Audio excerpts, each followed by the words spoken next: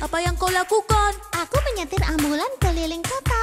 Siapa tahu ada yang butuh bantuan. Sepertinya menyenangkan. Boleh aku ikut? Apakah kau mau jadi perawat? Tentu. Orang-orang